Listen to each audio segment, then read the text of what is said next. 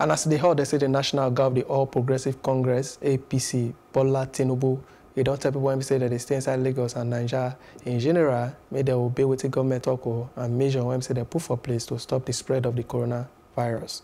Tinubu when we say be one before governor of Lagos State, is Sama the better and as they talked, give uh, talk talk people for inside Lagos House, Marina, after I meet with Governor Babajide Sanwo-Olu, along with some top members of the APC.